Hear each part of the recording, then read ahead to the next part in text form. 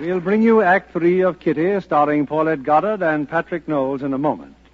You might say that our guest tonight was discovered by the Army.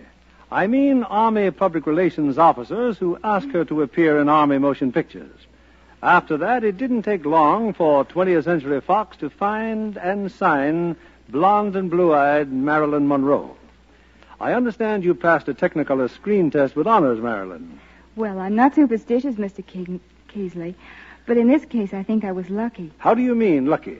Well, the film they used was left over from the shooting of Bet- Betty Grable's new picture for 20th Century Fox, The Shocking Miss Pilgrim. I see. And did you meet Betty Grable herself? Oh, yes, and how we laughed about her wardrobe for the picture. Well, correct office clothes for 1874 were a little enveloping. Especially the petticoats and pantalettes Betty had to wear in The Shocking Miss Pilgrim. They had yards and yards of ruffles and ribbons. Imagine doing all that washing. And no Lux Flakes to do it with in those days. Why, that's right, Mr. Kennedy. It's a good thing Betty didn't have to live her role.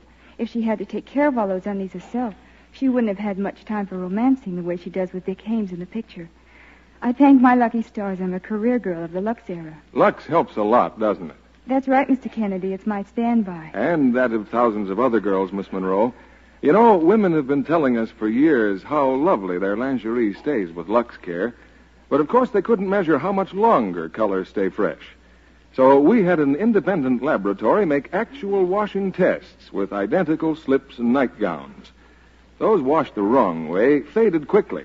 In many cases, the shoulder straps frayed and seams burst. But those that were washed the Lux way stayed lovely three times as long. Any girl would rather have pretty undies than faded ones. She can have more pretty ones, too, the Lux way. Instead of replacing drab, faded under things so often, she can buy extra ones without spending a cent more. Have three times as many. I leave it to you ladies.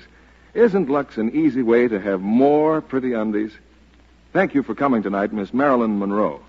Back now to your producer, William Keighley.